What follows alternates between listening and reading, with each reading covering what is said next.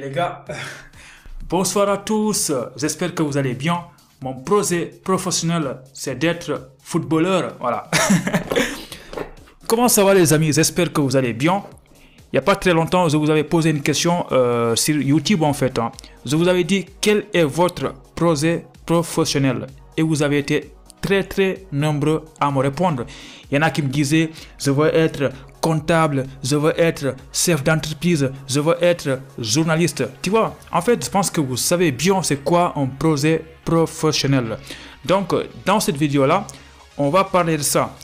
Le but c'est de vous donner beaucoup d'exemplaires, hein, beaucoup d'exemplaires hein, à la fin de la vidéo ou bien au milieu. Donc je vous invite à rester là parce que ça va faire la différence hein, parce que vous allez voir beaucoup d'exemplaires. Ok? Donc déjà il faut que je vous parle de projet professionnel. Pourquoi c'est important pour les démarches Campus C'est important parce que euh, c'est pour montrer en fait que vous venez pas en France au hasard. Parce que faut pas oublier qu'il y a beaucoup de gens qui viennent en France au hasard en fait. Parce qu'ils veulent tout simplement venir ici voilà mais pas pour étudier. Ça il y en a. Maintenant vous il faut que vous montrez je sais pas moi à Campus ou bien euh, au consulat que vous venez en France pour quelque chose parce que vous avez un objectif vous avez un projet professionnel vous, vous avez envie d'être avocat vous avez envie d'être médecin donc c'est pourquoi vous venez en France. Donc c'est pourquoi le projet professionnel c'est important. Attention, il y a beaucoup de refus de visa à cause de ça. Pourquoi? Parce que si toi euh, tu choisis une formation de géographie et que toi tu écris sur ta lettre de motivation que tu veux être un journaliste ou bien que tu veux être un footballeur, évidemment c'est pas du tout cohérent, tu vois. Donc c'est important il faudrait se préparer maintenant pour ne pas mettre n'importe quoi euh, dans tes lettres de motivation et raconter n'importe quoi à l'entretien parce que tout ça, ça peut être un motif de refus euh, d'un établissement ou bien du visa. Attention, regardez bien euh, dans les motifs de refus des établissements, il y a souvent ça qui revient. Votre projet n'est pas cohérent à la formation, donc ça c'est à vous de faire attention, ok? Donc, maintenant, vous allez me dire, mais comment on fait pour construire un projet professionnel? Il n'y a pas plus simple. Moi, par exemple, je faisais euh, une licence de mathématiques et mon projet professionnel, c'était d'être ingénieur système embarqué. Tu vois? En fait, c'est simple en fait. Le projet professionnel, c'est tout simplement ce que tu veux devenir plus tard. Mais attention, il y a une différence quand tu vas à l'entretien et quand tu écris une lettre de motivation. Là, on conseille très très important, quand tu écris euh, quelque chose dans ta lettre de motivation, ne va pas à l'entretien raconter le contraire. Attention, il y a des gens qui font ça. Il écrit euh, dans la lettre, moi je veux être un médecin. Et là-bas, euh, lors de l'entretien, il dit, moi je veux être un sage-femme. Tu vois, en fait, euh, il faut toujours faire attention. Ce que tu mets dans ta lettre comme projet professionnel, il faut aller raconter ça aussi lors de l'entretien pédagogique. Il faut pas dire une chose là et aller raconter autre chose là-bas. Ça, il y a souvent des gens, c'est pas eux qui écrivent les lettres. Du coup, ils vont donner ça à quelqu'un, il va les écrire la lettre. Et maintenant, eux, ils savent pas c'est quoi en fait. Ils vont aller raconter n'importe quoi. Donc, préparez-vous, c'est important.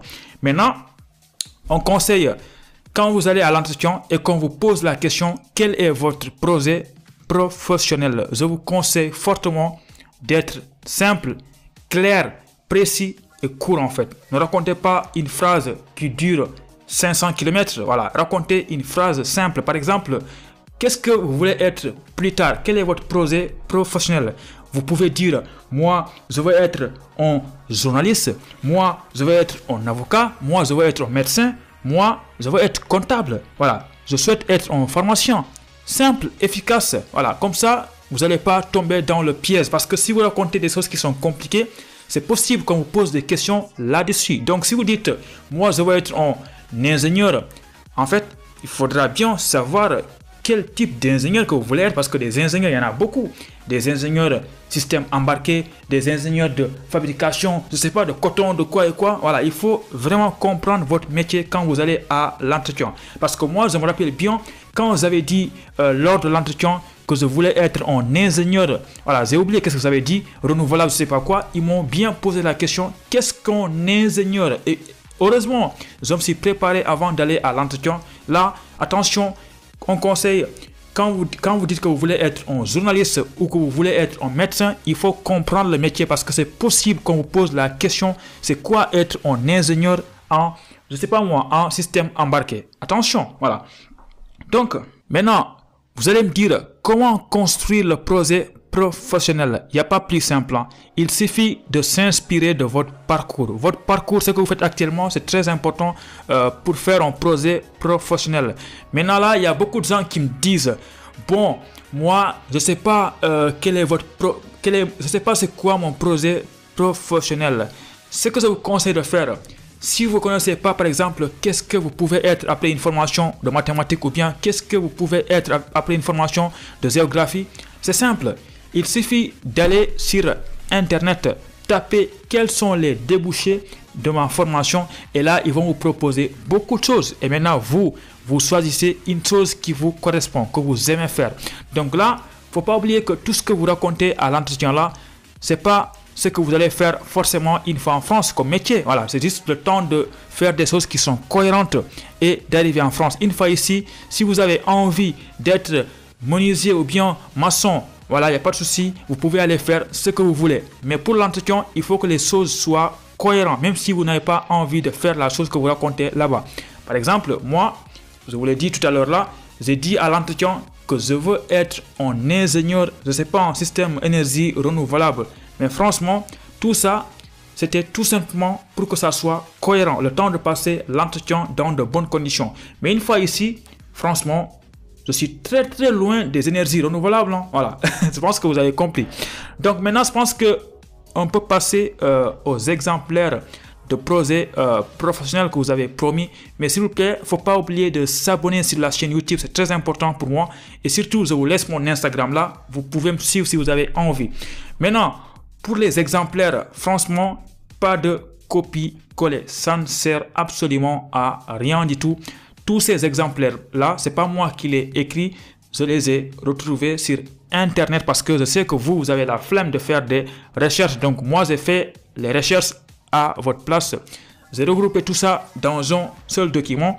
Maintenant, comment avoir ce document-là? Calmez-vous, je ne vais pas vous demander de m'envoyer des messages sur Instagram parce que vous, quand je vous dis envoyez-moi des messages sur Instagram, je vous envoie quelque chose. Il y a plus de 1000 personnes qui vont m'envoyer les messages parce qu'ils ont envie d'avoir un exemplaire. Ça, je le sais parce que quand j'avais fait ma vidéo sur la lettre de motivation, je vous ai dit envoyez-moi des messages sur Instagram, je vous envoie des exemplaires. Chaque jour, il y a plus de 1000 personnes en fait hein, qui m'ont envoyé des messages. Là, cette fois-ci, je ne vais pas faire ça, voilà, parce que ça ne m'arrange pas, c'est pas possible pour moi. Là, les choses vont être simples. Hein. Si vous avez envie de me suivre sur Instagram pour le soutien, faites-le. Mon Insta, c'est ELS-Ibra. Voilà. Maintenant, si vous, vous n'avez pas envie, pas de souci, c'est pas grave. Le document, les exemplaires, je vous le mets dans la description de cette vidéo-là à télécharger facilement en 5 secondes. Vous pouvez télécharger les exemplaires en format PDF, pas de souci, c'est gratuit, prenez tout, voilà. Donc je pense que vous avez compris Évidemment, là, je vais vous montrer le document avec les exemplaires hein, très rapidement pour que vous voyez euh, à quoi ça ressemble. Hein.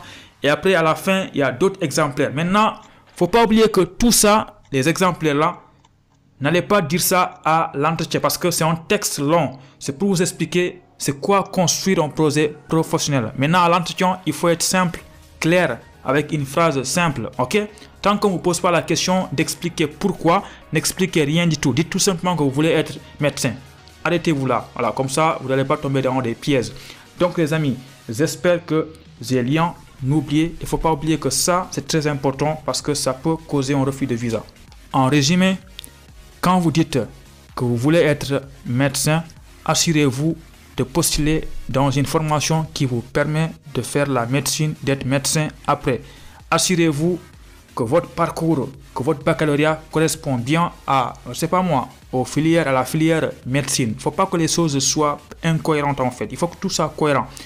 Voilà. Je pense que vous avez compris. Et surtout, très important, comprenez votre métier avant d'aller à l'entretien parce qu'il peut vous poser la question, c'est quoi ce métier-là? Donc, J'espère que tout ça vous a aidé. N'oubliez pas de laisser votre petit like qui fait plaisir.